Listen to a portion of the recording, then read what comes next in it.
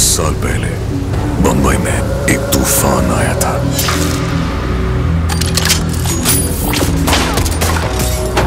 आधे बंबई को अपने नक्शे से मिटा दिया था। लेकिन